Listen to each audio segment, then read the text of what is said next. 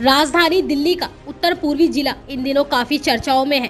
ताज़ा मामला थाना दयालपुर से जुड़ा है। बताया जा रहा है, एक इरफान नाम के व्यक्ति का शव पड़ोस की रहने वाली एक महिला के घर से मिला है। मृतक इरफान के परिजनों के मुताबिक, जिस महिला के घर से इरफान का शव संदिग्ध हालत में मिला, उस महिला के साथ इरफान का काफ़ी समय से प्रेम प्रसंग चल रहा था। वहीं मृतक के परिजनों के अनुसार, जिस महिला ने उसके रिश्तेदार इरफान को मौत के घाट उतार दिया है और शव को छुपाने की नियत से ताला बाहर से लगा दिया और कहीं चली गई। फ़िलहाल पुलिस ने शव को कब्जे में लेकर पोस्टमार्टम के लिए भेज दिया है। पोस्टमार्टम के बाद ही मृत्यु का सही कारण सामने आएगा कि मृतक इरफान के हत्या हुई है या फिर आकस्मिक निधन है। लेकिन शव के मिलने से पूरे इलाके में सनसनी फैल गई है। वहीं इरफान के परिजनों का भी रो रो कर बुरा हाल है। फ़िलहाल पुलिस के आला अधिकारी पूरे मामले की जाँच में जुटे हैं। दिल्ली से खबर तहकीकात के लिए इसरार अहमद की रिपोर्ट। सारा क्या मामला सारा यहाँ पर?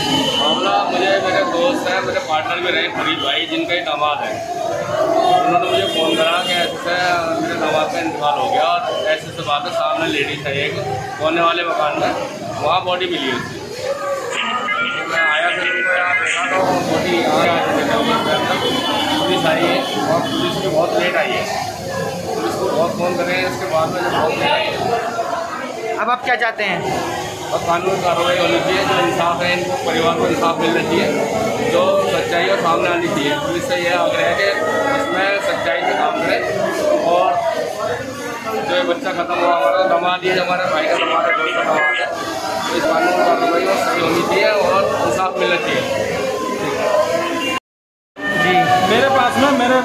पुराने साथी और मेरे जो भाई के साथ में रहता था, वसीम तो लेकर का जैकेट का काम पहले से हम करते आए थे, और वो मैं तो छोड़ दिया था, उसके साथ में अभी भी कर रहा था। ग्यारह बज के बत्तीस मिनट का फ़ोन आया उसका मेरे पास में, कि उस्मान, तेरे, इरफान कहाँ? तू कहा है मैंने, मैं आई पी को हूँ, पैसे लेने आया हूँ अपने सैलरी के। तो उन्होंने बताया कि इरफान परेशानी में है। मैंने भी कैसे कहा मतलब कि तू कहाँ जा सकता हूँ तुम्हारी बात। तो उसने बताया इरफान जो है कोने वाले मकान में जहाँ उसका पहले कारखाना था उस हॉल के अंदर वो लेडीज़ है कोई जो कॉलगन टाइप की है उसके कमरे क्या उनसे कोई आपसी रंजिश थी इनकी? जी। क्या इनसे कोई आपसी रंजिश थी उनकी? नहीं नहीं हम तो कभी भी ऐसा कोई मामला सामने हमारा कुछ पड़ा ही नहीं। वो तो हमारा भाई उसके साथ में जा करके पता नहीं कब से उसके साथ में अफेयर था। वसीम ने मुझे बताया कि आपका भाई उसके कमरे में है रात से और वो मुसीबत में है। मैंने भाई फ़ौरन आप जाकर देखो मैं भी आई को आ रहा हूँ। आपको किसने सूचना दी है? Birla multi speciality hospital private limited 24 घंटे इमरजेंसी की सुविधा व डायलिसिस डिलीवरी की सुविधा जहर व एक्सीडेंटल मरीजों की सुविधा मरीजों को लाने व ले जाने के लिए एंबुलेंस की भी सुविधा। हमारा पता है मोहन कुटी मामन रोड बुलंदशहर। अब आपके ज़िले बुलंदशहर में पहली बार royal fun world water park जहाँ आप ले सकेंगे पूरे परिवार के साथ आनंद और जहाँ आपको मिलेगा दिल्ली के मशहूर करीम होटल और शाहजी डेरी की खीर का स्वाद। तो आइए और आनंद लीजिए royal fun world water park का। हमारा पता है एन एच नाइन्टी वन गाँव चंदेरू दहली रोड बुलंदशहर।